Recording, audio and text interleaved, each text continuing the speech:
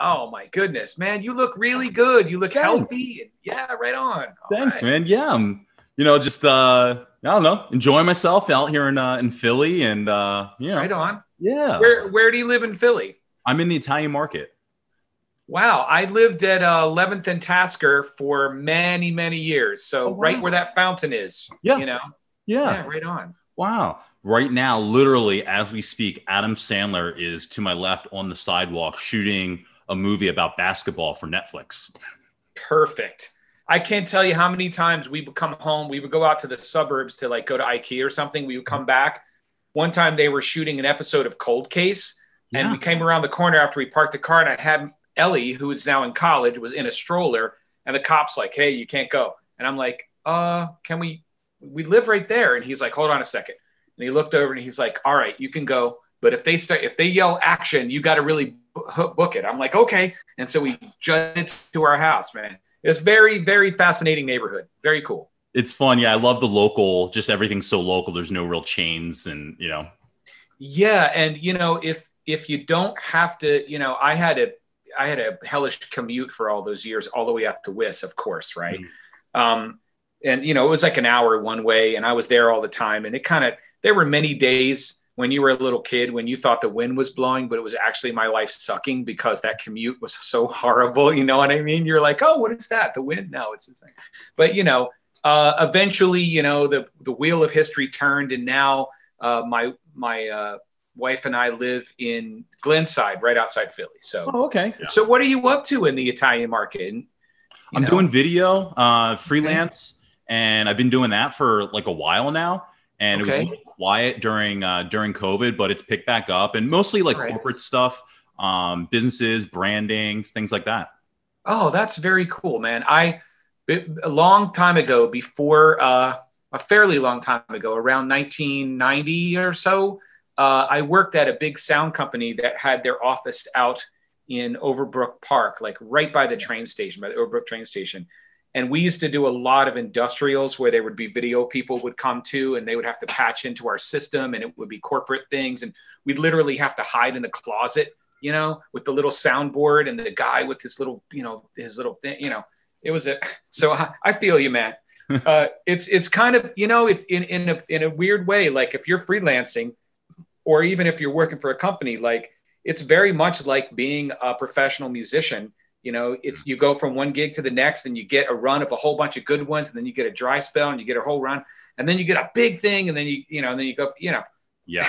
I, I know it's very similar with actors and you know dancers and you know all the people around that you know video people photographers anyone who has that kind of thing that's that is involved in events Mhm. and of course covid has affected all of us hugely i've had literally two paying gigs since march That's wow.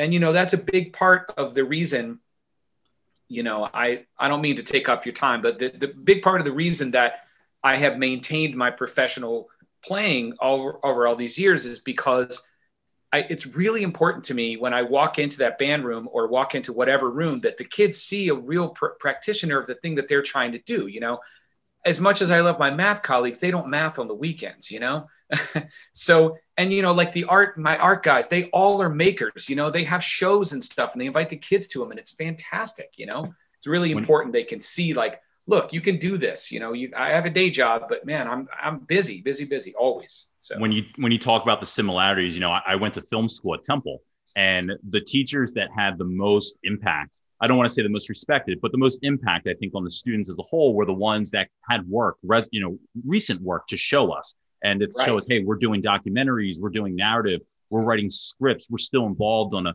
on a pretty regularly basis, and and those Right. are the ones that you know we look to for advice much more than ones that have been teaching for just teaching for 25 years and they tell you something and you just go when's the last time you you did a movie when's the last time you saw a movie man are you Yeah, Yeah. and and again, you know, in in an intro course or maybe a first or second year course, like some of the basic things about how to compose a shot and stuff like that, and exposure and all this, you know, of course, anyone can do that, whatever. Mhm. But when you get to your second couple of years and you're really looking to the next thing, you really want someone to say, here are the skills you need to be able to do. It's the same thing coming up, you know, in, in music school years ago. Like as I got to my second couple years, like it was okay if you missed a class because you had a gig because you were already doing the thing they were teaching you to do. Right. But they were saying things to us like, you know, you have to know hand signals for for chords, and I'm like, what? I'm like, for chain uh, for uh, key signatures. I'm like, what? Yeah, two fingers up, D major. You know, four down, uh, D, uh, A flat. You know, uh, whatever. You know, last time, head. You know, all these things. Like what? We were like, oh my god, hand signals. You know, but that, sure enough, man, the first time I played a gig on the outside, that was just they were calling tunes, and they were like, uh, all the things you are, one, two, ready, go. And boy, you had to be there. You know, so. Wow preparing you for that, just like your guys did. Yeah. So what kind of film stuff did did you did have you made some of your own films and things like that? I did a like the closest I've probably come was I did a senior I did a senior thesis uh, where I shot it on film. It was called We All Live Life, and it was um it was basically like two people who come from completely different uh, different spectrums of the world whose lives cross without them ever knowing it. Oh wow! So That's it's um it's funny because Crash came out I think like like after I graduated. And it was very similar. I don't like Crash, but it was very right. similar in that, you know, we all live life. It's like people's lives are happening, evolving. And when you mm-hmm. run into someone, when you when you interact with someone, you don't know everything that's led up to this moment to when you've interacted. And right. it was based on a lot of that and playing with like racial stereotypes and class oh. structure uh, and and all uh, that. So okay. okay. that was like that's like the most filming I've shot. That's the only time right. I've shot on film. Okay. Okay. So so generally you're doing, you know, you're doing video these days, right? Digital for the last video? for the yeah. last bunch of years. You know, after college I I went to um I moved to Stamford, Connecticut and I wrote TV for WWE.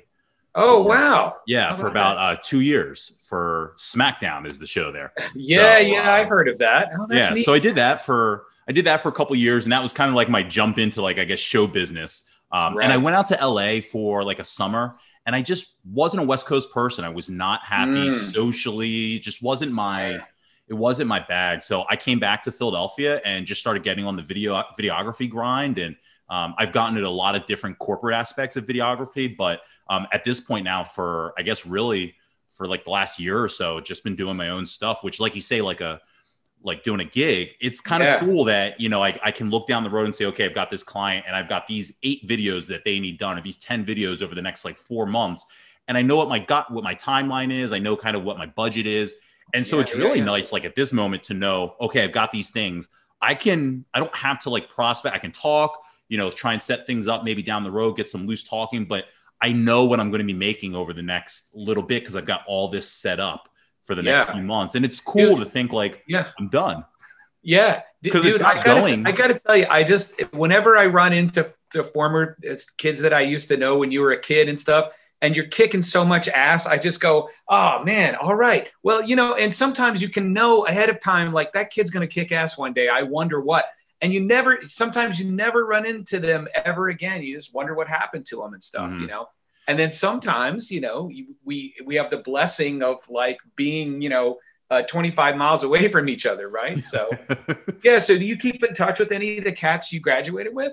Well now since i've been doing this podcast i've been doing this for about a year now. So you know pretty much everyone that i do a show with um, I keep in contact with, you know, on a, on a pretty regular regular basis. So Super cool, man. You know that you know, you know, I've already done episodes with Mike Mike Clyburn and JP and right. Barclay. Um, yeah, and, yeah. JP, J- dude, JP is kicking it. Like yeah. for years now, you know, I reached out to him when he first got that gig, and I said, "Dude, just remember, you know, keep your musicians happy. You were in the pit one time. You know what's up." and man, he's I just I love seeing what he's up to. That's very cool. So the premise of the show is really catching up with everybody that I didn't have a relationship with, you know, outside of like six people that I really considered friends. Everyone right. else, it's kind of getting to know what their perspective was of high school. But the cool thing is when I get to when I get to talk to someone like a JP or Mike Clyburn or Barclay who can talk about, you know, the music program and it kind of like takes me back because that's not essential. It's not something I, I get to revisit much at all. You know, I don't talk to right. a lot of people from musicals in my everyday life. And so to talk about this, you know, the music program with starting with Mrs. Reckner or Rubenstein when I first met her and Mrs. Right. Reckner and then yeah, yeah, Mr. Yeah. Conahan and Mrs. Watson Bay with the musicals in the middle school and then coming right. to the high school and doing all those programs with you guys. It's a world of my life that I'm really unlocking in my 30s that I haven't had a chance to dive into for so long until I started making these connections again. Yeah, that's really cool, man. That you know, kudos to you for doing that. That's really cool.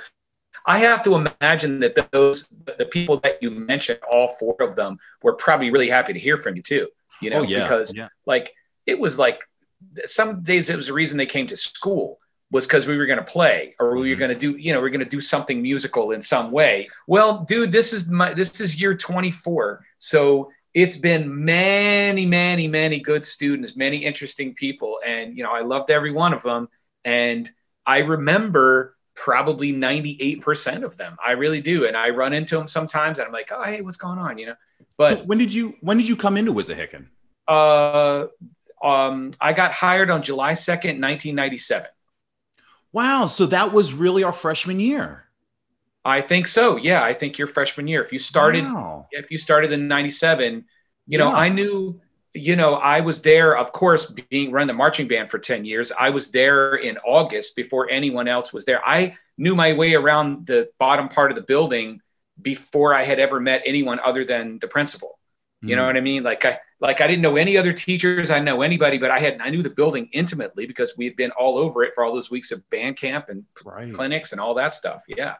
Wow. And that was Mr. Anderson's first year as well at the yeah, school. That's right. That's right. And wow. and he I didn't he I was hired before him. So the people that the, the the the sort of the final step of the interview is I had to go into a room where a bunch of the acting principal and the athletic director and a handful of other people were kind of sitting in a room and and uh, these are all old school dudes you know old school jocks every one of them right and i walk in and they're like hey uh, you're you're uh, trying to be the new band guy right? And i'm like yeah. And they're like, what's your uh and i remember this very distinctly. They go what what's your what's your uh, philosophy of discipline?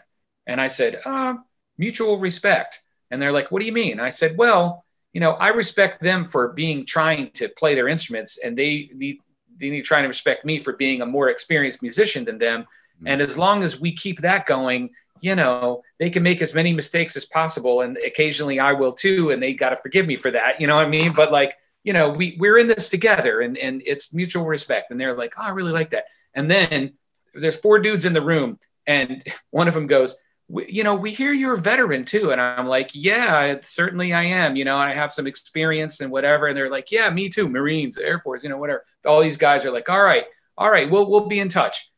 You know, the very next morning, 8:45 a.m., the phone rings. It's the personnel director. We'd like to offer you the position. I'm like, okay, you know. So, you know, it, it was a, uh, and then uh, about two weeks later, I hear, oh, uh, they hired this former minor league or uh, baseball player and I'm like, oh, who's that? And they're like, Bob Anderson. I'm like, oh, did you know he was a? I didn't know that. A, yeah, man, he was a. He was like, I I don't remember if he said that he went into the bigs one time or two times or whatever, but he played triple A. Like he was a good player. Wow, and he was a big guy, like a stocky guy. Like a, I could see him being a power hitter. You know. Exactly. You might dig this story. Uh, in the year 2000, uh, mm-hmm. which you were still there. Still there. Yeah, we graduated 01. Right. Okay. So, so you might remember. Uh, I don't know if you were. Maybe your pals told you about this, but um, out of the blue, my wife at the time called and said, "Hey, um, there's a hundred and uh, like a hundred and eight dollar round trip tickets to Paris over Thanksgiving. Do you want to go?" I'm like, "Paris, France." She's like, "Yeah." I'm like, uh, $108 round trip." She's like, "Yeah." I'm like, um, yeah, it was this newfangled thing, the internet. You remember that, right? Just priceline.com. Right, or something like that. Yeah, some early site. And I said, Yeah. She goes, Well, that's good because I already got the tickets and we're going for Thanksgiving. So anyway, we go for Thanksgiving. And of course, my first time in Paris, and it, it rung me like a bell. I just mm. thought it was the most awesome kind of place to be, the city. There were things, there were little details where I could just tell that they were giving their population credit for being intelligent. For example, the going into the metro, the doors, the handles were different on one side from the other, and it didn't say push pull. It didn't. You didn't need words. It just had this, and and you figured it out. And I'm like, oh my god, they're ex- ex- assuming their population has a, a, brain cell to rub together. I love that. Those little things, all the way up to we went to the opera, and you know we just had a great time. So I come back on that Monday from Thanksgiving weekend. And of course, I tell the kids all about it, you know, all your pals and stuff. I'm like, oh, it was so great. I went to this musical instrument museum. I saw a mm. quartet of, of, of saxophones made by Adolphe Sax, you know, blah, blah, blah, Stradivari violin, blah, blah, blah, whatever, talking about it. I wouldn't shut up about it for like two or three days because it was such a great experience. And then on Friday of that week, the phone rings in the band room in the band office mm-hmm. and you know i'm between class and i run and pick it up and it's my friend henry right henry is a six foot three enormous trumpet player that i've been playing with for years and years and years we played together with the stylistics and harold melvin and the blue wow. notes and we were in this wedding band together and everything whatever and of course he has a really deep voice as a brother uh, how'd you like to go to Paris? And I was like, ha ha, very funny. I just, you know, I was just there last weekend and, you know, and I've been telling everybody about it. Very, very funny. He's like, no, I'm serious. Billy Paul is playing three gigs in Paris and he wants our horn section to go and play. And I'm like, you mean Billy Paul, like from me and Mrs. Jones, Billy Paul? He's like, yeah, that one. I'm like, He's like, there's two rehearsals next week, and we leave on uh, Sunday. And we'll be gone for a whole week, and it's a thousand dollars a gig, and it's three gigs, and everything's all paid for at hotel. And I was like, ah. so of course I start. Oh my God, what am I going to do? Right.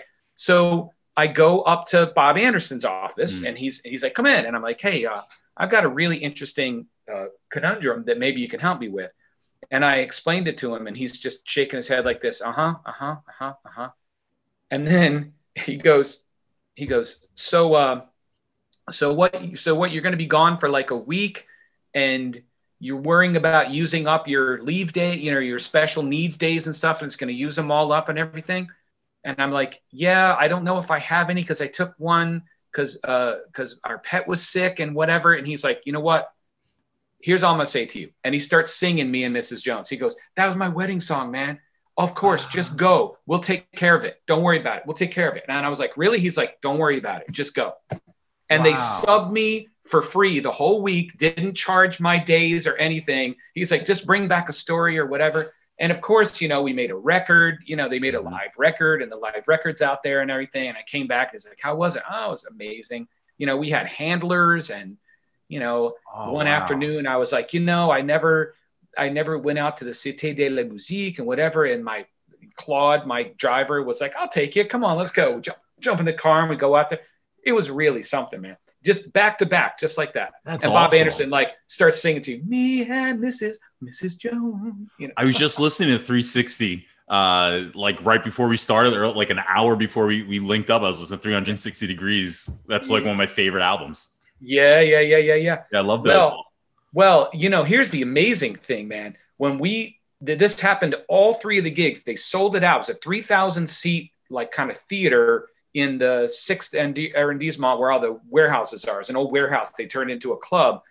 So three thousand people, right? And it's mm-hmm. all like young-ish French white people, right? Mm-hmm. Handful of handful of you know you know Africans and whatever African African French Africans whatever. Right. handful but only handful.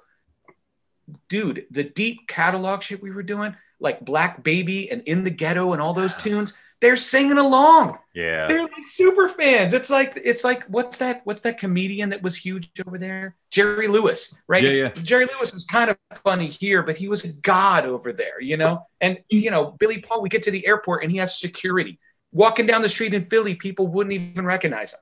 And well, you hear that. Paris, you, know? you, hear that a lot about about American culture. That in Europe and Asia, um, it, it culture is like huge, and, and a lot of bands, pop bands, R and B acts, they they go overseas. The Temptations, right? David Ruffin uh, yeah. went over like to to Europe for like three i think that was part of like the end was that they wanted to go back over there but he couldn't get his right. stuff together exactly. to be clean enough after like that first one but they made so much money they're like guys the bag is just as big here as right. it was in, in the united states in 70 exactly in the 60s right. and 70s let's go and yeah but i think that was like his downfall was the end he just couldn't get himself back Some, yeah somewhat he couldn't yeah he couldn't do it and you know i kind of lost i kind of lost touch with those cats because i was on tour with them and the Four Tops in the summer of '86. The TNT wow. tour it's like a six month tour. Uh, they had two, you know, it was like a bus and truck tour, and they had uh, three um, flatbed uh, trucks, and the band was on the middle truck, yeah. and then the tops were on the left, and the Temptations were on the right, and we literally had two books in front of us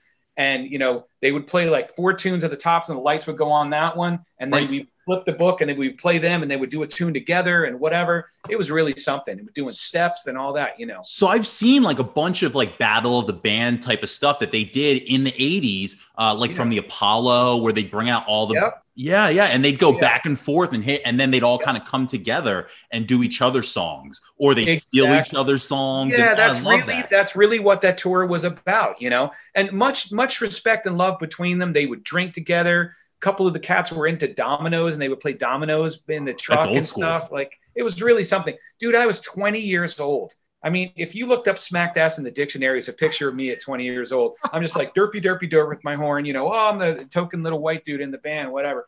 But they loved my playing and they were, you know, here we go, you know, to go out and play with them and stuff. And that led to, that led to some other things, you know, like, you know, just you know the, the way that it happens in the gig culture is you know you play this thing and someone sees you and you meet these people on other tours and mm-hmm. and then the next time it's like oh we really need a trombone player who's that guy who was with the temptations oh you know right. it was the um um uh, captain and Tennille, right? We're still oh. traveling around. They're like, oh, you know, we get that trombone player from, you know, so I played some gigs with them. Oh my God. Um, the spinners. Oh my God. A couple weeks with the spinners. Like, they did yeah. this thing with Rubber Band Man with like fake rubber bands and like a, a strobe light, and oh, it was amazing. Just you know, it was really my early 20s, just running around playing gigs with everybody. And meanwhile, you know, uh, 87, 88, 89, I was in this ska reggae band that got signed and we played South by Southwest and all of, I had oh, this wow. whole thing going on, you know, but honestly, if I had kept that going, man, you know, it would be like some of my friends that are my age now that still kind of do that. Mm-hmm. You know, like I was describing before, man, you know, they have mortgages now and they have kids and stuff. And like, you know, so they so they catch this really good lucrative gig and it runs for like three months and then it's over and you're like worried for a couple days and then you get the call. Mm-hmm. And I I kind of didn't want to live like that, you know. So I thought, you know, maybe I'll just get an elementary teaching gig and I'll teach during the day and I'll have my summers where I can go. And that's kind of what I thought was going to happen. But surprise, I get this really good gig at Wissahickon, which takes over my life for a couple of years. But anyway, uh, back to what I said before, it, it has been really important to me because just like that Billy Paul gig happened in the middle of Wiss, a bunch of other things. You know, I played some gigs with Nancy Sinatra back in 20, 2008, nine, somewhere in there. You know, she was playing a bunch of stuff. You know, every once in a while you get called for stuff. Yeah. go do the gig, and you're like, hey, you know, run into people you know or whatever. So. What were your what were your musical influences growing up? You're kind of like like you playing all over the map and all that. Like I love all that, but when yeah. you were a kid, what was what were your influences? Well, I grew up in North Carolina, right? So I heard a lot of country and bluegrass ah. music oh. when I was growing up. But my mom, uh, was a really good musician. She played piano and organ and she sang and she won the music award and was valedictorian of her high school class. So she was a, my mom was really serious. And so she had all kinds of records. So in, in sort of my zygote days when I was, and I was also, because we moved when I was in seventh grade up to, to upstate Pennsylvania okay. and to a really good music program in Williamsport. And during that time, is when I started reading my mom's record collection. For, oh my God, it's a Cannonball Adderley record. What's this, mom? She's yeah. like, oh, I had this in college. You know, here you go. Who is this? Ella Fitzgerald? What? She says, oh, she's a singer. You'll like this. Here, you know, whatever. I'm like four, 13, maybe 13, something like that. When I turned 14, uh, right, right before my birthday of turning 15, um, my high school jazz band director said, pulled me aside after rehearsal and said, hey, look, because I was playing bass trombone uh, in that band and he said, "Hey, listen, uh, you know, I have a, a, professional big band that plays every Monday night at the Elks Club, and and and our bass trombone player just moved uh, to California, and we don't have anybody. Can you help us out? Can you come mm-hmm. and, and read the book and whatever?" And I, I was 14, man. I'm like, "Of course." And so I go on this gig, and you know, it's a big jazz big band gig, and it's all these cats that are, you know, in their 50s and 60s. To me, at the time, seemed like older cats I remember very distinctly that the uh, third player who was sitting next to me had a trombone case that said Penn State class of 1950 on it. And I sort of did the math and I went, dude, you were 21 in 1950. And this was, this would have been 81 or 82, you know, and I'm like, well, you know, so he came up in all of that and it was such an education, right? Wow. But um, honestly, my first instrument was mandolin when I was really little. I was about eight or nine. And my great grandfather like put one in my hand and said, you know, cigarette hanging out his mouth. You know, he's like, put your fingers like this here, put it like this here, and go like this. I'm oh, all right, you know. And so once a month we would go up and visit them up in Lexington and sit on the porch. And it was mostly gospel tunes, but you know, I learned, you know, sort of kind of how to play that a little bit. And, you know, and then in uh, junior high, um, you know, in sixth grade in North Carolina, they gave us a test because you had to pass like a test in order to play in the band. Like you, you couldn't just sign up like you can up here and they didn't start till sixth grade. There was no starting in fourth grade like we did. Oh, you don't like rent your instrument and like no, like no, none of that, grade. man. It was it was yeah. As soon as you start middle school, you can start band, and it was all general music up to then. And I took a test and I passed. Hmm. And she said, "Well, what instrument do you want to play?" And I didn't know, man. I was like, "I'll play trumpet, whatever." So I get up to to Williamsport, and you know, I they they quickly figure out that I don't belong in the regular classes and they put me in the gifted classes, whatever. And I'm in there with all these kids in the band and they're going out for lessons. I'm like, where are you going? They're like, oh, we're going out to a lesson or whatever. I'm like, how do you do that? And they're like, you have to play an instrument. Oh, I play an instrument. And they're like, oh, cool. You should talk to Mr. G. So I go on to talk to him and I go, I go, uh, hey, Mr. Griffith, uh, all these, all these friends are telling me that, um, that you're uh, that that you're looking for players for the band. He's like, yeah, do you play? And I'm like, I do. And he's like, oh, fantastic. What do you play? And I go, I play mandolin. He goes, oh, oh, uh, well, we don't have mandolin in our band. And I'm like, perfect. Here I am. He's like, no, no, you don't understand. It's not that kind of band. I'm like, what do you mean it's not that kind of band? What band doesn't have a mandolin? He's like, no, no, no, no. This is a wind band, like trumpets and trombones and stuff like that. And then here comes, Rad. The the my God, you know, you talk about the the sliding doors. If you've ever seen that movie, right? Mm-hmm. Talk about that moment. So I say to him, this backstage at Roosevelt Junior High School in Williamsport, Pennsylvania, 1978. I go, well, uh, okay, but I still want to play in the band. What do you? What instrument do you need? Because I didn't really, I honestly didn't give a shit. I was right. just like, well, if I can't play mandolin, whatever. I, I would love to get out of class and go, you know, whatever. And he's like, well, we really need trombones. And I went, oh, okay. And he goes, oh, we'll get you set up. And that was it. That oh. was it. And that instrument, my man, has literally taken me, it's made me thousands and thousands of dollars. It's had me meet famous people. It's, you know, taken me all over the world. I once got to play ruffles and flourishes for the vice president of the United States in the United States Capitol when I was in the army band. You know, that instrument, you know, I was in in uh, Germany and East Germany with that instrument uh, with the youth orchestra in uh, 1989, mm-hmm. you know, and we, we played in East Berlin and like it has taken me everywhere. And what I say to the students is, you know, you want to travel the world, get good on your instrument. you know what I mean? Like, in addition to saying, the better you play, the more fun it is. And that's absolutely true. Mm. So, you know, you might think about it as practice. I never think about it as practice. I think, ooh, I get to play my instrument. That's a different thing than like, oh, I have to, I have to practice. Right. No, man, you get to practice. You get to play. You get to make good sounds with your instrument, you know?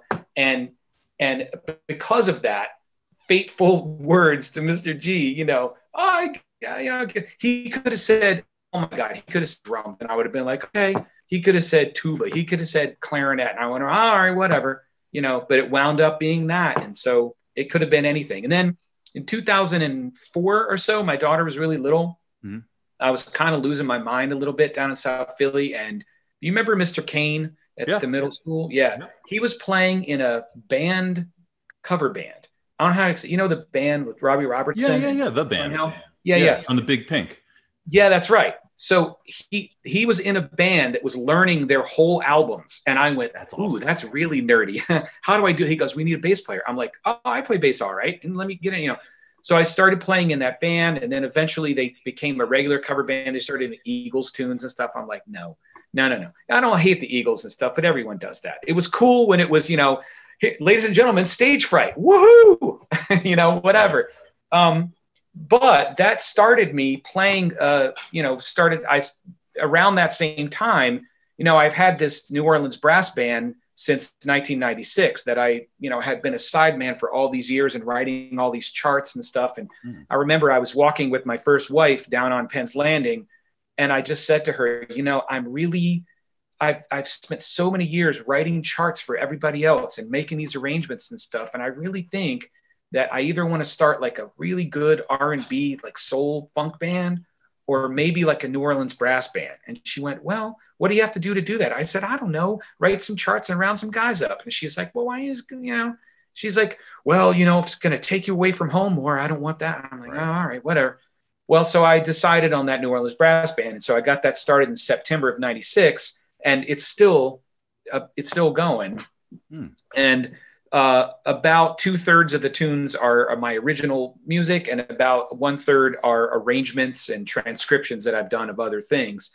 But you know, every year we throw down really hard on Mardi Gras. This past year, it was two weeks before the shutdown. We had the best Mardi Gras ever.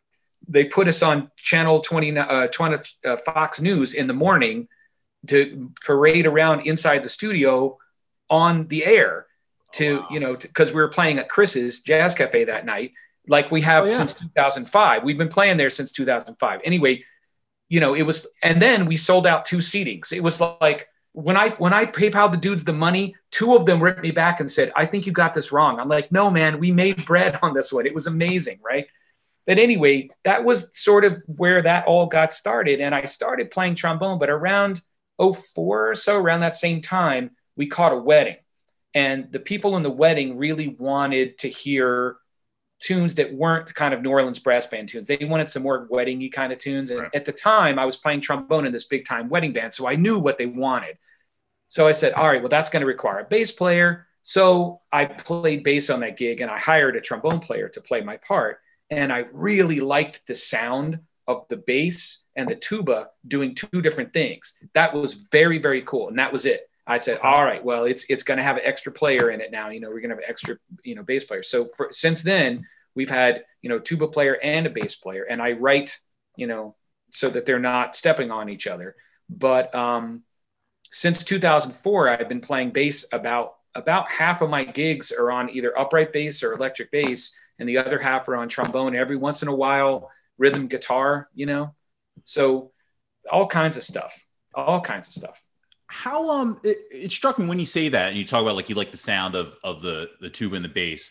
Yeah. How do you pick your pieces for students throughout the you know throughout your years? How do well, you how do you come across those? Well or decide it, i guess. Yes yeah, some of it is repertoire right? Some of it is you know there there are pieces that really pretty much every you know every cat with a doctorate in a university in wind band conducting would tell you you know every young musician should come across this piece at some point in there you know there's repertoire. Mm. so there's always a repertoire piece on every concert. There's also always a march on every concert because that's what bands do. I'm talking about the band in particular. Mm-hmm. um, the selection process is different for jazz band. It's different for the string ensemble. It's different for the orchestra.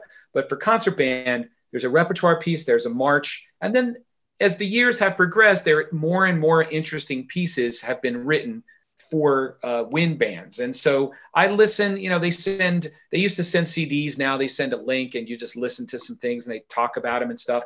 But really what, what it is, is I have to try a couple things and see where they are. And generally speaking, the guys at Wiss are, you know, when they get to me in September, the band is sort of at a three, you know, mm-hmm. a six is like the Eastman Wind Ensemble, and a one is like a little kid band, right? So they're about a three, a three and a half. And by the time we hit the winter concert, I kind of know where they are. And I have, you know, file cabinets full of music and many, many years of experience. And I go, oh, this piece will be good for them. They can handle this. This one will be a reach. This one will be a little bit easy. And I always make sure there's one right at their level, there's one a little above, and there's one a little below and the little below one is because if you you know i'm sure you know you know there's a big difference between a 14 year old and an 18 year old sure. and they're in the same class right? So i don't want to give them so much hard stuff that it discourages the freshies and the little kids and stuff.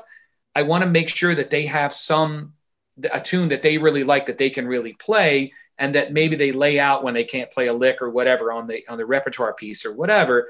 But by the time they are a senior, they can do it. So usually um, every year, um, across about seven or eight tunes, I make sure that a tune that this that the seniors that this this year's seniors played when they were a freshman is on one of the concerts because they recognize it and then they also can see instantly oh my god i'm so much better than mm. four years ago you know so that's kind of how i pick it i see uh, you know repertoire piece a march whatever see where their level is and give it to them and they usually get to about a four and sometimes i get to a four and a half or even touch a five a handful of times i can touch a five your class by the way is one of the times that we touched a five. We played um, uh, we played uh, incantation and dance, which is this uh, really kind of hairy piece that's a grade five that sometimes district band plays. Hmm. Um, and we pretty much pulled it off. I mean, it was a little sketchy here and there, a little out of tune, but I remember that very. I, that's the first time I went, oh, there we go, you know. Um, and every once in a while, I have a group that can do that. Um, but generally, it's it's about that level. And you know, with with jazz band it's the same thing i have to see what kind of players i have if i have mm. you know really good lead players that are good leaders then i can do a little more challenging stuff um, with string ensembles the same thing there's always a wide range of ability mm. With my guitar class it's a wide range of ability i have to teach at all those different levels all of the time you know like i have kids that can shred and kids that put it on their lap upside down the first time in the same class, you know, like, so I have to go, oh, you know, whatever. All right. So here, let's learn the strings. And meanwhile, you, you know, here's the uh, Bach two part inventions. Let's work on this first eight measures. Oh, but I don't read that well. You're gonna, here you go. You know what I mean? You, you got to give them the, the food that, that keeps them going. Where did you, uh, you know, when I talked to Barclay, um, she mentioned being influenced by you and going into the service because um, you were such a big impact on her. She said like a father figure. Oh, um, oh wow! So I didn't know that that you were in the service. Can you talk about being? Yeah, yeah, yeah, man. So um, so uh, every firstborn in my fam- firstborn person son in my family has served in the military since the Revolutionary War. My uh, fifth great grandfather Bentley Outlaw fought in the Battle of Cowpens, you know, in South Carolina. Um, and all the way up through uh, War of 1812, Civil War, Spanish American War. My great great grand, my three greats grandfather was in the Spanish American War, and my great grandfather was in the First World War. My grandfather was in the um, Second World War, mm-hmm. and my biological father was a Green Beret in Vietnam. So, wow. you know, so it's it's a long, long tradition. And so I graduated high school and you know went to conservatory, which was it was a conservatory then. PCPA became University of Arts, but back then it was still a conservatory. Went to conservatory because they didn't have marching band and they didn't have frats and all they did was play. And i'm like that's hmm. what i want. So i went through all of that and it took a while to get through because like i mentioned in the middle of college i missed a whole semester because i was on tour with the temps and the four tops right mm-hmm. and other tours it, so it took some time to get through my bachelor's degree because i kept having to take leaves to go on these tours the fall of you know summer of 89 i was in germany the fall of 89 i was on tour with a big band throughout the whole uh, throughout the whole country, you know, even across the Mississippi and, you know, all the way to Kansas and Nebraska and all over, you know, whatever. Well, it was coming up time to graduate. And, you know, like I said before, you know, I was doing all that playing, but it wasn't making a whole lot of money. And I don't play guitar and I don't sing, you know, I don't do the things that make stars, you know, I'm a sideman. And sideman, you know, music back then, late 80s, whatever, I don't know. There was gigs, but it wasn't a lot of gigs. And I thought to myself, well, if I'm ever going to do this, now might be the time. So then the Gulf War happens in um, starts. You know, there's a ramp up to the Gulf War in 1990, the fall of 1990. I was going to be graduating finally in the spring of '91, and so you know, I start thinking about it. I'm watching it on TV, and you know that whole thing and whatever. And so I go. I one afternoon, I just I told my girlfriend at the time, I'm like, look, I'm going to do this. She's like oh, don't do this. I go down to the recruiter and I sit down start talking to him. And he finds out like who I am and what I'm about and stuff. And his eyes start going because if they can sign somebody like me with a college degree, they get like $5,000. Oh, wow. The recruiter gets a bonus, right? So he's like, so when are you going to graduate? I'm like, uh, you know, May of 91, whatever, you know, and he's like, oh, well, you know, you go in at an advanced rank and whatever. And why don't we get you tested and we'll see? I said, look, I'm not signing up. He, go, he goes, no, no, no, just get tested and let's see. Well, uh, I don't want to say of course, but I, I rock the test, right? You know, and then they say, oh, well, let's give you this other test, this, um, uh, what was it called? It had a, it had an acronym. Anyway, it was a, it was a language aptitude test where you had pictures and then nonsense words, and you had to try and make a story based on the pictures and the nonsense words and your ability to decode, you know, you know, a, a word that was all consonants, for example, and it showed up three times and there was three of the same picture and i'm like that must be that you know whatever. And you kind of it was like a puzzle right? Mm-hmm. and put it together.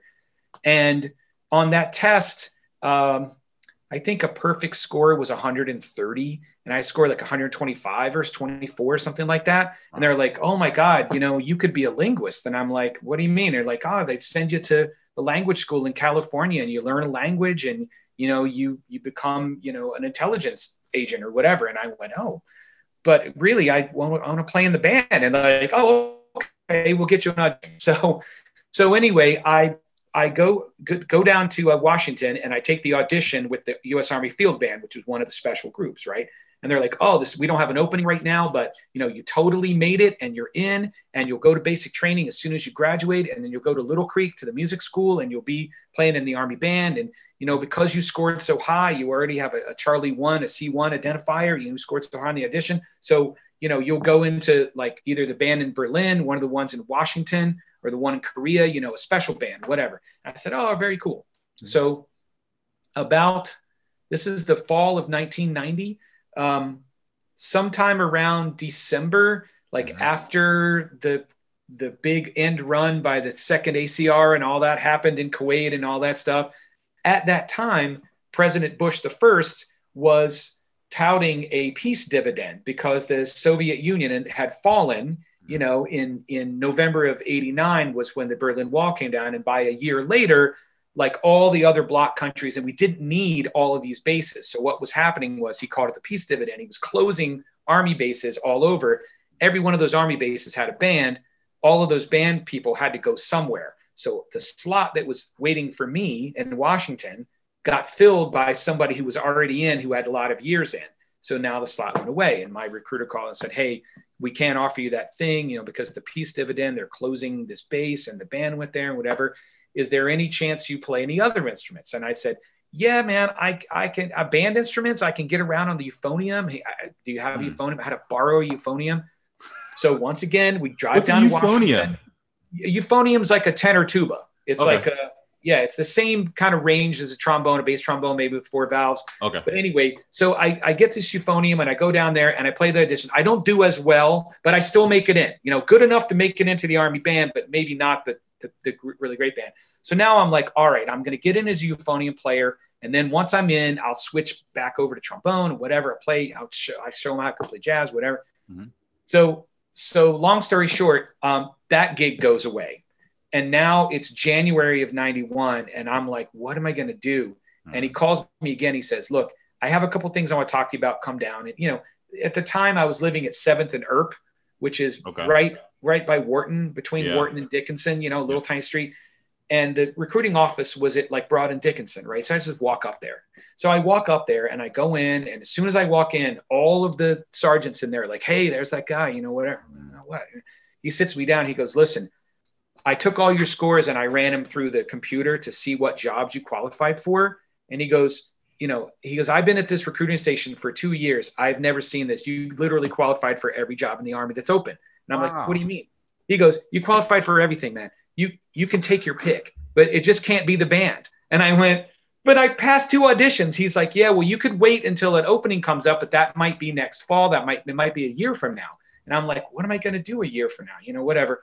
So I start looking through it, and it's like thing, dude. It's things like nuclear operator and you know uh, vet tech and all of these like complicated wow. things where the schools are like where your training is like a you know, you sign up for four years, right? But your training is two years of it. Mm-hmm. You're in school learning this skill. And a lot of them were translatable to, you know, like I remember one of them, I, I think it was one of the medical ones. Once you got done the training, you had a you had the most of the coursework done for like a bachelor's degree in something, right? Wow. Like it was really a, a, a, and, and this, of course, this is not like infantry bang bang, or artillery or anything like that. These are all specialty jobs. And I see one that says linguist on it. And I said, What's that?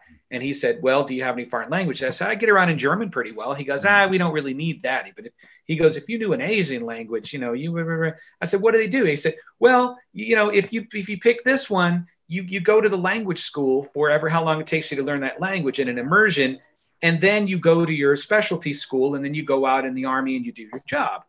So I picked this job for linguist, and the only, you know, they always say the recruiters lie to you, but the only lie he ever told me was that when you get to California, you can pick your language. And so the whole time, you know, the whole time leading up to that. So I go through that whole spring. I finish my, I graduate on uh, May 18th. Mm-hmm. Yeah, I could look at my, I have my degrees up so the kids can see them right That's in it. the camera.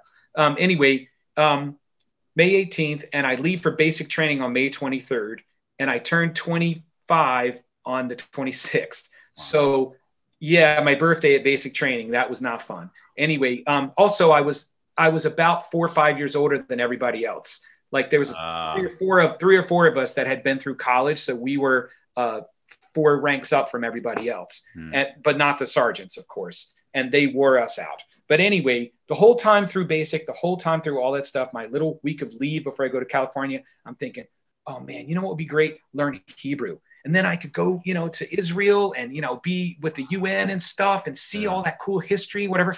Or maybe, you know, maybe Portuguese. Oh, that would be a fun. And I'm like imagining all these languages and stuff. And I'm, and so I, I get out to Cal, you know, fly out to California, my class A's, you know, and I, I get to, to, um, well, today is Friday, so we wear college uh, sweatshirts and t-shirts, and I'm actually wearing my DLI sweatshirt. But okay. anyway, I get to the Language Institute and I get signed in with the CQ, and she's this nice woman named Karen, and she's like, "Oh, you know, come on steps or whatever. I got a room for you." Uh, the guy in the room is from like New York or something. You guys are both from the East Coast. You know, you get along and whatever. And I go, "Well, and I said, well, uh, when uh, can I just ask? And I've been really wondering about this. When do you get to pick your language? And she's like, what are you talking about? And I go, you know, they, they told me I could I could pick the language. That she's like, no, you can't pick. I'm like, what do you mean? She's like, it's right there on your on your oh, orders. No. I'm like, what do you mean? She goes, see this long number right here? See that K? I'm like, yeah. She goes, that's Korean. And it was like a thunderclap because in a million years, I never thought like, why would I want to learn Korean? Like it's cold there. Yeah. You know, like what? Why oh. would everyone? Well, it turns out that Korean and Chinese, uh, both kinds of Chinese, Cantonese, Mandarin, and Korean, and yeah, I think maybe like Urdu. I think there's one other one that are category four languages that are the hardest languages to mm. learn for English learners. Spanish is a category one. Uh, and this is the State Department rating. English is the only category five language. It's the hardest language for anybody that. to learn who doesn't speak it. You can imagine, right? Yeah. Anyway, so she's like, "Oh, you're in the Korean school." I'm like, "Korean? What?" And and then I go, "Well, you know, with this with this roommate, you know, if he's from New York, you know, as long as I, I just I hate cigarette smoke. I've been around it my whole life. I never smoked. You know, big secondhand smoker back in the '80s. Every gig, every club, every everything. You know." my, my first really professional gig when I was 18, 19, playing in a Puerto Rican salsa band in North Philly.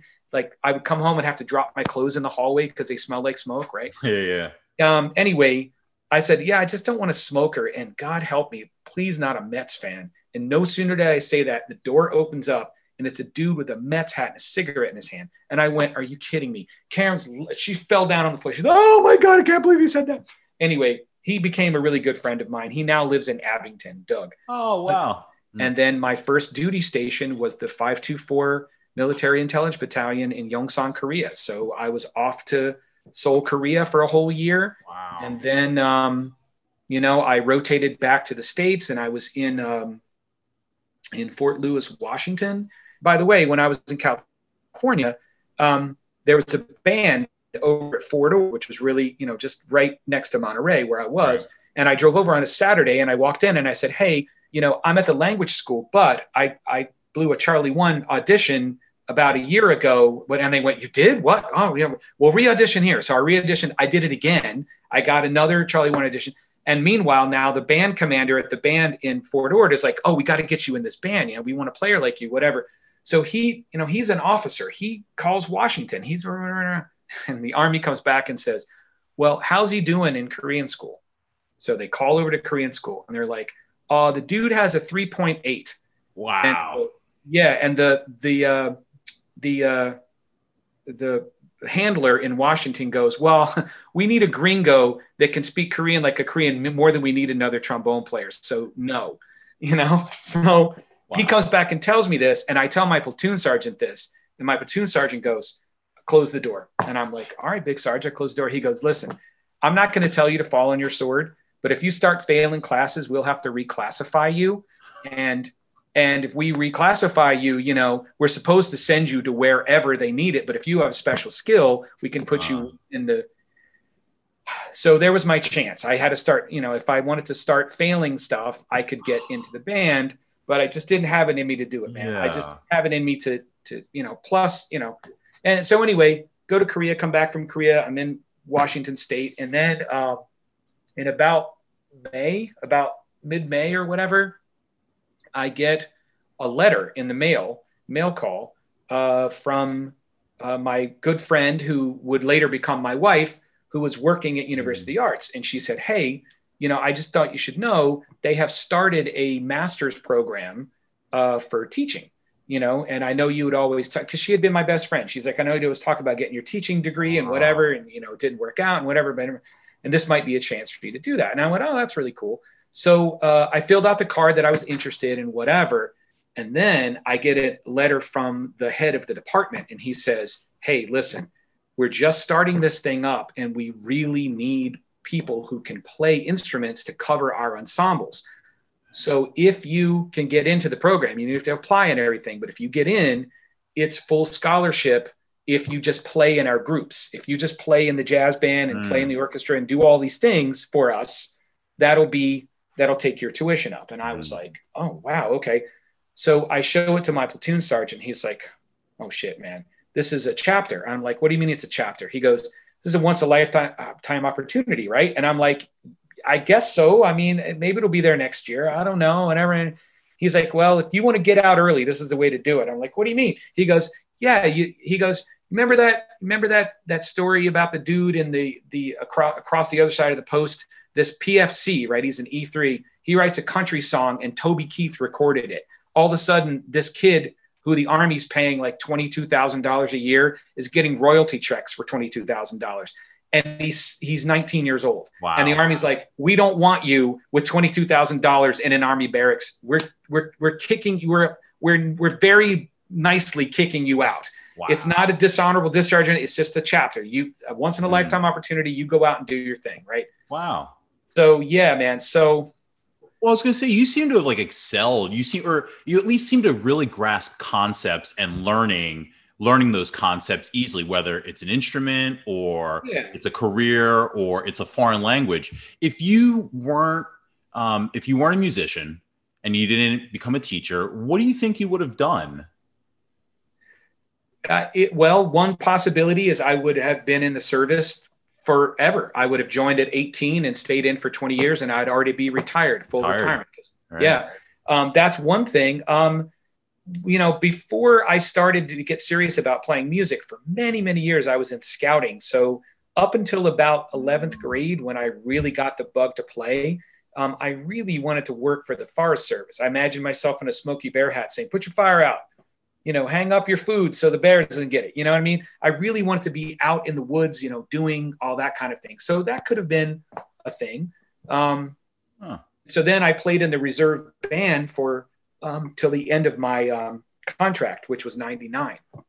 So when I started at Wiss, that was it. One weekend, you know, I, I there were some weekends, bro, where I had a marching band competition on a Saturday and I had to be eight to four at drill and then you know, jet over to the school in my BDUs and change into my Wissahickon clothes and take the band to a competition. And it just, wow. At, the time, the commander of that band was my assistant director, Mark Engie. You remember Mr. Engie? I don't know mm. if you hmm. remember him. He was mm. an elementary teacher. He just retired last February. But anyway, he was my commander. But then when we were at marching band, I was his commander. So okay. anyway, um, so all the way to 99, I did that. And uh, January of 99, I signed out, and they were wow. like, oh, because he was like, "Oh, take over the band," you know, take. I'm like, no, I don't. I want to be done with this. So, I had yeah, no man. So, so that was my, so that was the military thing, and you know, it's uh, it's helped some. You know, I always make my bed when I get up in the morning. My shoes Mm. are lined up. I just don't know how to do it any other way.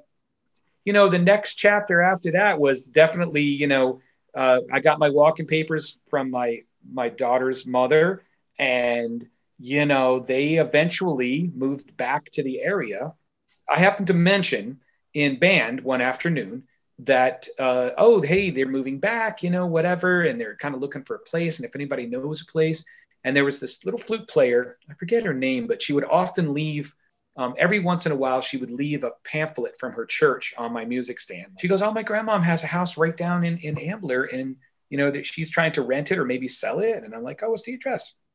And I drive by. It's a nice little house right down, you know, uh, just off Bath Pike, not too far from anything. And uh, so I take a picture and I send it to her and I go, look, this is really close. It's in Wissahickon District, which, as you know, is a really, really good district. Cool district. And it's yeah. free. Hello, it's free. you know, you might have some activity fees when she gets into high school, but essentially just get on the bus and you get Right. a really good education, right? And she's like, well, I'll consider it, whatever. No, no, no. She comes down and looks at it and grudgingly says, okay. So thank goodness, you know. So fourth grade on, Ellie was in Wiss all the way through to her virtual graduation in my in my driveway this year. Um, dude, all those years of doing graduation, imagining someday before I even had a kid, I'm like, someday I might have a kid and they might walk across the stage and I can hand them their diploma. You know, and then she starts at Wiss and I'm like, oh my God, someday. And the senior year starts and I'm like, this is the year, this is it. I'm gonna gonna step away from the conductor area and hand it to her, whatever. No. no, thank you. No, no COVID. Anyway, yeah, so she she excelled. She did a really good job all the way through. Um, she won a couple scholarships at graduation. Uh, she's at Clark University uh, studying political science and gender studies, wow. and uh, is so far, you know, this is their freshman year, so so far she's kicking it. I talked to her today, and she's like, "Yeah, I'm doing all right. You know, I don't like my econ class, but I'm doing all right in it." And blah blah blah blah blah. You know, you know, just the college stuff, right? Does she does So- she play? Uh, well, she did. She played clarinet a little bit. And she played bass a little bit. But in ninth grade, she auditioned for the jazz band as a singer, and so she sang in the two o'clock band, and then she sang in the one o'clock band. And uh, eleventh grade, and the two uh, festivals that we went to in uh, when she was in twelfth grade before the COVID shutdown, Okay. she either won a solo award or got an honorable mention every time.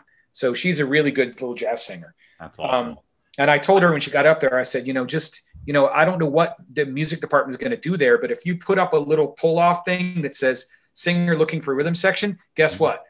They're, dudes are going to be calling you like, oh man, we want to play. Like, you know, you know, tunes. Oh yeah, we do too, you know? And That's she, awesome. she hasn't got around to that. But anyway, man, so that's what it was. I met my wife now um, on OkCupid in 2012. okay. I woke up uh, in January of 2012 and I'm like, look, I've been by myself for years now and it's not cool. And let's just see what this is about. And we both answered like over 300 questions. And that's the trick on that site in particular. The more Mhm. questions you answer, Right. the more points of data the algorithm has to match you up. And so, Can I just tell you weeks- on yeah, on, on the converse, on my side, the more questions I answer, the more it separates me from everyone else because my answers are so are so whack. right but but get this man when the right person does the same thing and like it's gonna be a lock like you never know man that was the thing right i was getting all these like 45% and whatever i went to coffee with this woman and just had coffee and that was it and her job was uh, building and selling display uh, setups for like military and cop equipment conventions and i'm like i don't know i don't know whatever da, da, da, i don't even think we have the same politics man you know whatever um, but anyway, it was just like 45%, whatever. And then bam, all of a sudden, here's a 92%. And I'd Mhm. never seen a number that high. And I wrote back and I said, either there's a mistake or we should probably meet because this is the highest number I've ever seen. She's like, me too. Let's get together. Yeah. Well, we meet on a Thursday night uh, down uh, in Fairmount where she lived. Mhm. And uh, dude, it was just fireworks. And then, of course, within about, I don't know, five minutes, she's like, "Oh, you're the guy from Hoppin' John." I'm like, "Oh, you're the guy from Hank's Cadillac. Are you the girl from Hank's Cadillac? That's your band." We wow. knew of each other's bands. We had both played uh, in 05 when uh, Katrina happened. They had a benefit at um, World Cafe, and oh, she oh, yeah. her band opened the show, and our band closed the show. And because we got there late and closed the show, I never got a program. She had a program. She's like, "Check this out," and we're both in the program. You know. Um, oh, wow yeah it's like meant to be yeah man and you know like i kept thinking about as we started to find people that knew both of us mm-hmm. i kept i started asking them why didn't you introduce us and like oh it didn't occur to us you know whatever anyway they um, didn't know you were such a high match I guess so. Well, well, in particular, this one cat, uh, Michael Salzberg, who is also a very interesting individual. He has a PhD in math and has three patents for software, but He's a killer violinist, and he's on a Billy Joel album. So like oh, wow. he's he's a really he's on my uh, dissertation committee. He's like, oh, I'd love to help you out with that. Anyway, cool. he plays in a 1920s band that I play in occasionally. Back then, I played in it a lot more. It you know like 20s transcriptions. You know they do like a, uh, uh, Eddie Lang, Joe Venuti tunes and stuff, and he plays the the Joe Venuti part, and Richie plays the Eddie Lang part. And you know anyway, so I knew this guy, and he's a pretty cool guy we got along pretty good. Well, he's the fiddle player in her band. So I email him. I go, "Hey, Mike, uh, I hope all's well, man. I haven't seen you in a couple weeks, but I just met this woman who says you play in her band, and she seems like really the cat's pajamas, you know. So just please tell me she's cool and that she's not like a psycho axe murderer or something." Well, unbeknownst to me, she goes in her house and writes to him and says, "Hey, uh, Mike, I met this guy and he says he plays with you in Richie's band and just please tell me he's not an axe murderer. Oh, it really is meant to be. Dude, it was so many things like that. So many things like that. So it turns out she's a longtime radio DJ. She was wow. a big star in Connecticut in the 1980s on WHCN. Um, whenever you're a DJ and you're the first one in a geographic area to play a new album, if that album goes gold or platinum, they send you one also. So mm-hmm. she's got about eight in the basement and she hung up the two platinum ones in her office. That's cool. So, so she broke um, Lenny Kravitz's first album and she broke the Edie Brickell album, the first Edie Brickell wow. album, you know, stuff like that. So, you know, she's a kind of a big deal. Yeah. And then she worked at XPN, WXPN for many, many years. Mm-hmm um, that's how I recognized her name. I'm like, are you the one from XPN? She yeah, said, yeah. yeah. So she started her own DJ business, and now she's had oh. this amazingly successful. You know, 99% of them are weddings. She's at a wedding right now, in fact. Okay. Um, wedding DJ business where she has about seven or eight people that work for her and do, does all these gigs a year. And, you know, basically does a two four hour gigs on the weekends and spends some time on the computer booking the gigs and stuff and makes like so much more bread than me. And when I realized that, I was like, oh, you are doing it all like, wrong. I I missed the boat, man. Why am I working so hard? You know, gee, geez, you know. Anyway, mm-hmm. uh, she is just absolutely my puzzle piece. I don't know how to explain it any other way. It's, she's she's just she's the perfect thing for me. I'm kind of in some ways the perfect thing for her. That's in uh, 2014, I um, you know, we were living in Chestnut Hill and I had wanted to get another master's degree in music history for a really, really long time. And she said to me, Well, why don't you do it? And I'm like, Well, mm. because, you know, I don't really, you know, the money and whatever. And. She's like, You know what? I got you. I Let's just just do it, you know. So I qualified for a sabbatical from Wissahickon. So I took a sabbatical in 14, 15 and did my first year. And then the second year was harder because I was teaching and going to grad school. But at the end of 16, you know, I had a um, I had a, a, another master's degree in music history. I'm about four or five classes away from having a third master's in social emotional learning. Eh, but I started this doctorate, so that'll be that'll be the final one, I think. Um, anyway, man, she is just amazing. She has a daughter who's a, an animation and illustration major, senior at Cal State Long Beach. Oh wow! So, okay. So last summer we went out there and spent a couple weeks, and you know, I showed travel like awesome. Oh traveling. yeah, man, I love to travel, dude. My my birthday present for my 50th birthday was a trip of a lifetime. I um I saved up money the whole year, and then uh, a couple weeks after my about a month after my birthday, we flew to Memphis mm-hmm. and spent four days in Memphis. We rented a car and drove the Blues Trail down through Mississippi all the way to New Orleans and spent four days in New Orleans. And literally, she had to drag me to the airport. I was that's like, that's awesome. it. I'm quitting everything. I'm staying here. I'm going to be here. I'm going to play gigs. I'm going to eat good food. You know, I'm going to, it's not going to snow ever, you know? So, yeah, that was my birthday present to myself when I turned 50. It was really something. I also had a giant birthday party. I closed off the street and hired a blues band and got a giant roasting pig and tons of beer and food and stuff and left the doors open and the air conditioning on, invited the whole neighborhood and all my friends and had the blues band play. And it That's was just, awesome. that's a great musical vibe. That's dude, it was. Music it was is so much about vibes, right? What's that? Music is, is, so much about vibes. Yes. Yes. Uh, that's what that's what I do love. Like I said, you know, mood and and vibes and culture, and I, I equate so much of that to music, um, mm. and especially throughout my life. You know, mu- everything that I listen to is like a memory. It's like you know, uh, for me, music. Uh, uh, each song is like a, a T-shirt that someone gave you or a hat that someone gave right. you, and they go, "Hey, what's Connect. that? What's that shirt? Where'd you get that shirt? Where'd you get that?" And, you know, every song that I, I remember, I, I kind of remember the era of my life that I heard it or that it meant something to me, or you know so that's that's very that's very very cool that you can dial that in like that man a lot of people it just goes past them but that's well, very very cool. i grew up like that too like in that world where you know like my dad listened to a lot of music and um, like you mentioned like you know Cannonball Adderley and like yeah, yeah. these these records and like i have like all these records of my dad's that are like from the 50s like i've got records with ray charles from like 54 where he's just playing piano he's not even singing Right. You, right. you know, I've got like all these all these different like influences that that came from my dad in music. Um, that it's just that's how I've grown up my whole life. Well, and and again, you know, you, when it's happening to you, you don't think it's anything. You know, that's just how you do. And then you yeah. meet other people who don't have that, and you go, ah, wow, your life is not as in colorful as mine has been, or whatever. And you try and help them and try and show them, right? Yeah.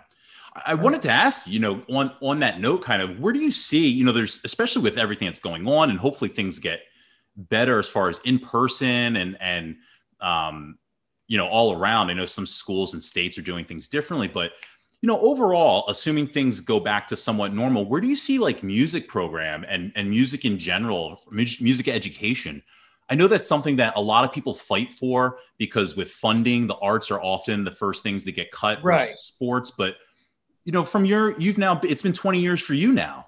Yeah, yeah, yeah. you see things. Well, I, I see at least in in speaking specifically about you know our district and the ones around us, mm-hmm. those are pretty well supported and well sourced. Um, and you know, also a lot of the people that live there have a lot of education, and so it's really unusual for a it would be really unusual for a school like Wissahickon or Upper Dublin or say Hatboro or PW or wherever like that to lose any of their arts stuff. They might drop a class here or there, you know, whatever, but they're not going to, you know, to lose an actual teacher from a program because a program has shrunk, you know, there there are you know there are ebbs and flows in interest you know you have a year where you just don't recruit a lot of people in the elementary school and then five six years later you have a, a year where you only get about 10 or 12 freshmen coming from the middle school. You have other years you have 25 or 30 mm. you know? So there is an ebb and flow to it but where do i see it going? I, I really think i hate to say this but i really think things like wind band and wind ensemble despite the fact that there are tons and tons of people that are teaching it in college and there's college programs and you can go to learn how to conduct it and stuff. I feel like in many ways it's an anachronism. And sadly, I think jazz music, um, despite the fact that it's a national treasure and people think about it that way, the same way, you know, essentially instrumental music in any form that doesn't have vocals in it. The, the, the real tragedy is that that a lot of schools in the younger grades, the middle school in particular, but also elementary school, have taken away um, their sort of music appreciation classes, if you with you know, where they're they're telling these kids like, look, you know, you you might think this is stuffy, but you know, Mozart was a badass. Check this out, right, or whatever. You know, to, to have them hear that, they don't even accidentally hear it anymore outside of their video games, right? When you were coming up and even when I was coming up, you know, sometimes TV theme songs were a little jazzy or, you know, uh, movie soundtracks would have, you know, big sweeping string things and whatever. And, you know, the Star Wars kind of stuff that John Williams does, you know, mm-hmm. all that kind of thing. that's mostly not what's happening in these in these soundtracks for these superhero movies that are so popular. You know, it's a lot of synthesizers and a lot of things like that. It's not, you know, strings and stuff. So I think, you know, the fight is going to become about the culture as much as anything else because, you know, there's no, you know, for a kid, for a kid, like, for example, um, I have this trumpet player in the band right now, and he's really hot to get into a drum and bugle corps. You know, the the super competitive young, you know, youth drum and bugle corps. I don't know if you know about that, but no. that's that's like the NFL for high school marching band. Okay. The 17 to 21 junior drum and bugle corps, they they they are very very hard to get into, but once you get in them, you go to clinics over the weekends in the winter, and then as soon as school is out, you go to a camp, and then you spend all summer traveling literally all over the country playing these big competitions with these super complicated uh, movements and super complicated shows, and it's all kids, you know, 17 to 21. And when you turn 21, you're out, right? Wow. And this kid is 17. He's trying to get in. He's a good player, and he might. He might just make it. Um, but uh, outside of that, and outside of kids that really, really want to go into that, it's it's anachronistic, man. It's not, you know, you don't have like regular shoebies on the street going, "Oh, I can't wait to go hear this concert band record." You know what I mean? They just don't have, and it isn't because the music isn't good. It's just because they don't know what it is. And and if you don't know what it is, and you don't have a guide to say to you, "Hey, sit and listen to this with me with an open mind," and if you have any questions, you know, I'll answer them for you. And then they go, "Oh, wow, that's pretty neat. That's pretty. You know, here, let me show you the score. I mean, look at what this oboe part does. You know, whatever." Mm-hmm. You bring them into it and help them understand what's going on. Then they appreciate it, right? Then they appreciate it the kids that go through their music programs usually grow up to be adults that at least appreciate instrumental music. But right. the kids that don't, they don't even hear it by accident, right? So I'm a little concerned about that because, you know, I, I think that strong programs like ours and like the ones around us and other places in the area, other places in the country mm-hmm. are going to continue. But I do think it's going to become you know, uh, in, in, a, in a similar way to like the highest level of jazz playing is Lincoln Center Jazz Orchestra and maybe a couple out in LA, you know, but they're not playing in concert halls usually. They're playing in restaurants, you know, that have a nice stage and stuff. You know, it's it's it's kind of come out of that, you know, the big band and the, even the small groups and stuff. The jazz clubs, there's only one full-time jazz club in Philly right now. It's been there. Chris's. It's been there for years, right? There there's time, 40. right? Time's there. Well, time, but time time only holds like five, six people on stage, right? So, you know, you can't have like a jazz big band like that anachronistic thing, which is so powerful and so interesting and so cool. And literally the lingua franca of Duke Ellington, greatest American musician, like it's you have to, you know, you have to go find it, right? Mm. So and the same thing with the Philadelphia Orchestra. I mean, they built the Kimmel Center, you know, there used to be a coffee shop there before. And I used to play hacky sack in that park that was there. And they built the Kimmel Center as a home for the Philadelphia Orchestra. Right. To my opinion, the greatest orchestra in the world. They're not playing right now. But, but honestly, you know, I would go and it would be all these super old people. And you see one or two young people from college and they're there because, you know, they're taking a music appreciation course at Temple and they have to go to a concert you know what I mean? For years, man, I had uh, season tickets to the orchestra, two tickets, right? And I would, in my music history class, I would say, all right, raise your hand if you've never seen the Philadelphia Orchestra. Okay, raise his hand. I'm like, all right, next Tuesday, we're going. What? I'd write a note to their parents. I'd say, look, meet me in front of the Kimmel Center. And, you know, you can pick them up when it's over, pick them up at 10 o'clock. It's a school night. Yeah, but it's, it's worth mm. it. Okay. So for years, I would take kids and every single time, I'm telling you, every single time, kids blown away. And sometimes they were like kids who've been thrown into music history, didn't want to take it to start with. And then all of a sudden they hear, you know, some amazing thing like Shostakovich Festive Overture. I remember this this super tough kid was like, "Yeah, I'll go with you. My mom's making me go." You know, Sourpuss goes in. Soon as the brass section came in, his eyebrows popped up and he went, "Oh my god!" All right, and we walked out and he's like, "Oh, can we go again next week?" I'm like, "Yeah, we can go again next week." You know, what I mean, yeah you have to experience it. And so many people don't. So many people don't experience the power of that, that they don't know what they're missing and what's gone. But the anachronistic sort of, you know, uh, character of traditional classical music, which by relation is wind ensemble and concert band music, and then also jazz. I hate to say it, but you know, you have to you have to get off your butt and go out. You're not going to hear it accidentally, and we're already at that place. Yeah. Combine that with the collapse of the music industry in terms of recording sales and stuff, and it's really really hard for anyone. It was always hard to make a living as a musician. Now it's even harder because the, all the people in the middle who used to be able to, you know, people who aren't at the very top and they aren't at the very bottom, all the people in the middle who could make a living because they had a regional group that was pretty good and had some records and they had a following and it, you know, it allowed them to have a beach house, you know, or whatever. All of those, that all that's gone. Yeah. The people at the very top are still doing it, and the people, you know, that are just doing it for fun are still doing it. But the whole middle, like I wonder all the kids that graduated in 2020 from music school, you know, all the violinists and all the to trumpet players. What are they what are they gonna do?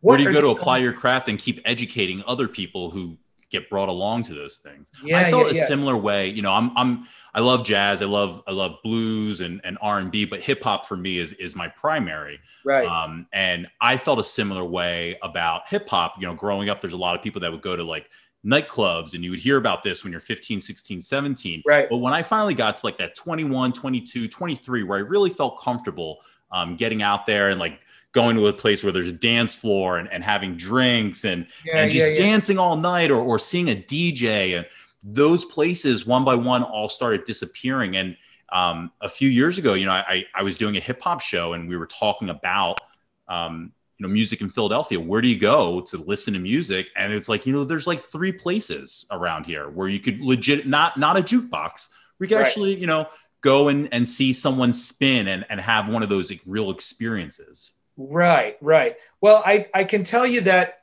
that you know when I first got out of the service, I had been playing in I had been playing in this ska funk reggae band that got signed, but I'd also been playing with this band called Scram, which was sort of like a world beat band. Hmm. Um, they're very, very, very interesting musicians in that band. One of them was Elliot Levin, of course.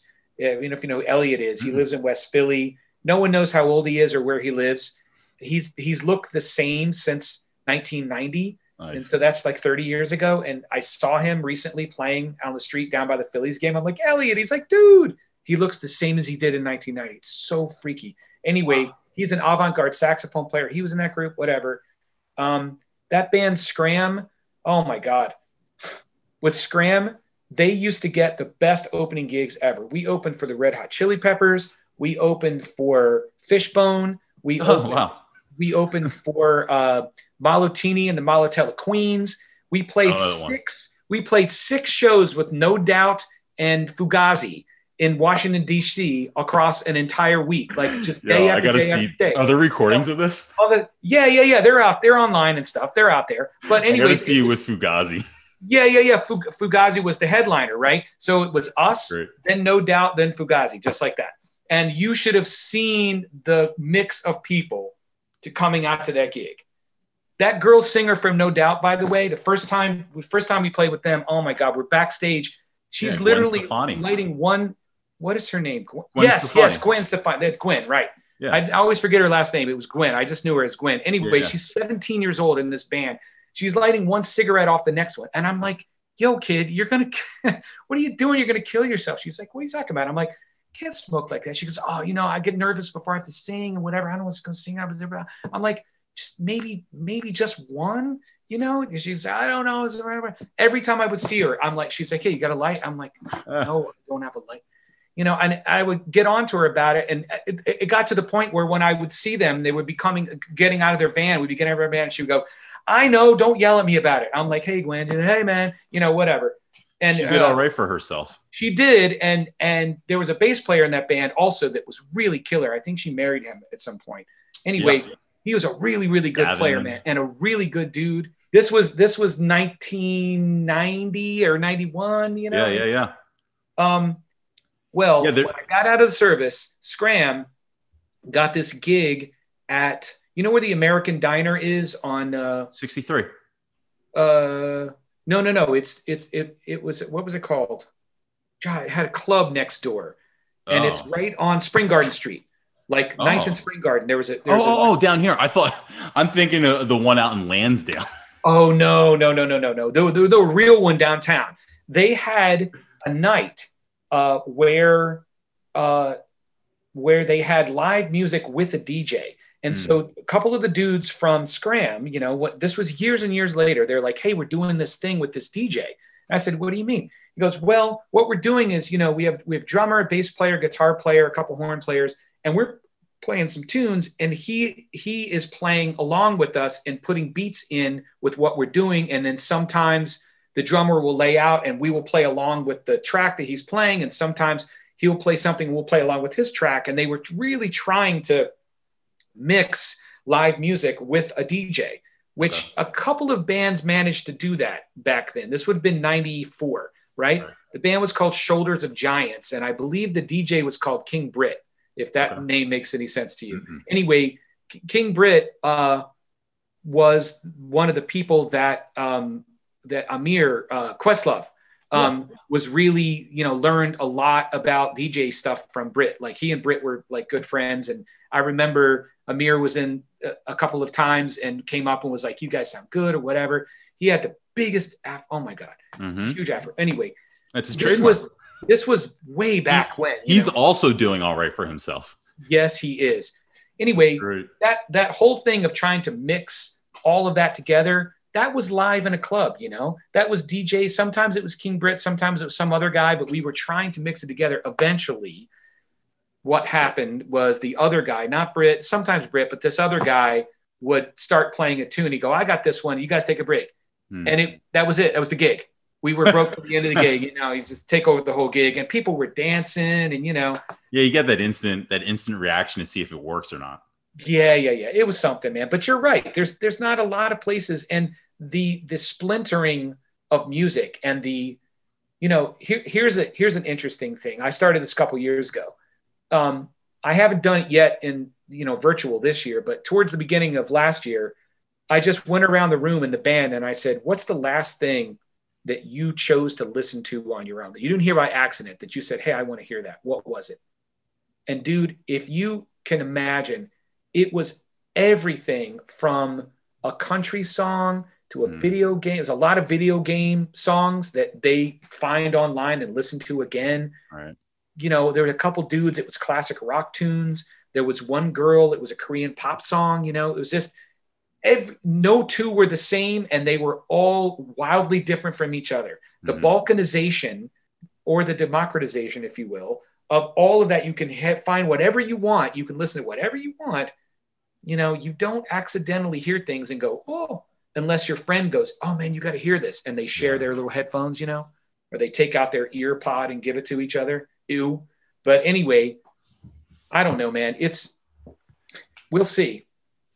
I, I got to tell you, uh, as a historian, I Mhm. have to feel like when records first started being sold around 1920, I'm sure all those musicians went, oh, that's it.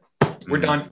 No one's ever going to hire us again. Right, right, right. Live And then when, when they started playing records on the radio in the late 1930s or middle 1920s, and there were lawsuits, they were like, you can't do this. You know, you can't just play the record on the radio. You know, you have to have a live band in the studio playing. What are you doing? You know, uh, the there's always going to be musicians. There's always going to be people who like to hear music. What form that takes, I. You know what? If we knew, guess what? We'd be really rich. well, this has been like an awesome talk. Um, Yeah, the yeah. last thing right I, the last thing I always do before Yeah. I say goodbye is I like to look in the yearbook. Okay. And you actually signed my yearbook. Oh, I love that. All right. What did I say to you? Do you remember? Uh, it was very hip, to be honest. Okay. Uh, let's see here. We get to the faculty. I kind of remember. I can kind of like quote it. You said, um, you said like, "Hey BC, on the QT, you're you're a really cool guy," and then like a best of luck. But I thought like, wow, I said the QT. That sounds like very hip. Yeah, It's on BC, quiet- it's on the quiet tip. BC on the QT. You are the man. It's been good to know you. Yeah, there you go. See? And, And- uh, Yeah, yeah, yeah. with the ponytail, Yes, with the ponytail, right on. it That came with the the- music program. That's right. That was the second time I grew a pony. I had a ponytail when I showed up to basic training. Boy, did they love cutting that thing off. anyway, It's dude, great. it is it is so good to see you and to hear you. to and see you. I got to tell you, you know, it, it's very full circle because the day I decided I was going to do this as a podcast, I was going to start doing this. I'd run into a classmate um, at the bar earlier in the day. I was with some friends, and it was St. Patty's weekend. Right. and um, you know, I, I'd ran into him and and hug each other, and, and my friends that I'm with say, "Hey, do you know that guy?" And I go, I, I have never actually talked to him in my life, but you know, it's when you run into people from high school that you know, Yeah. you- it's all buddy buddy, but it's like we never talked, we were never friends. Like I said, kind of the the thesis of this show.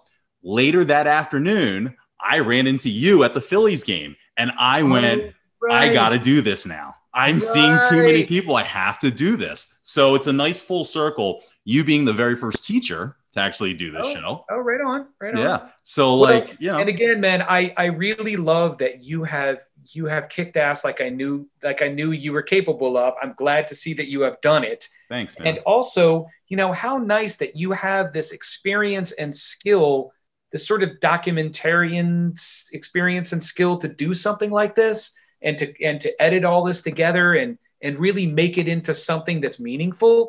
Like a lot of people will be daunted by the technology, but you're like, oh, I do this all the time, you know? so- So right, so yeah, it's very very cool, man. And what a great talk, man! What a great talk. It's been Really so nice much fun. with you. Yes, indeed. And I hope to see you down in the uh, Ninth Street Market sometime. yeah, man. seriously, I'll, I'll give you, uh, I'll email you like my info and, and all that. And, uh, you know, text me, call me, email All me, right. whatever. If you're ever well, going to come and, down and again, here. man, I can I can point you to uh, to um, the uh, I have so many stories, by the way, so many stories. But I can point you to my band's page and to my wife's band. Yeah, page. yeah, yeah. I'll put all that. I, yeah, I'll put all that in the in the description and all that. okay, super cool, man. That'd Super be cool. awesome. All right. Well, Mr. Dude, Hood, thank you thank so you much, man. Oh, my- you can call me Mike, brother. You Mike, can. Yeah, yeah, yeah. brother Brad, you can do it. All right. thank you, Mike. All right. And you are the man. Thank you, brother. See you, baby. See you, man.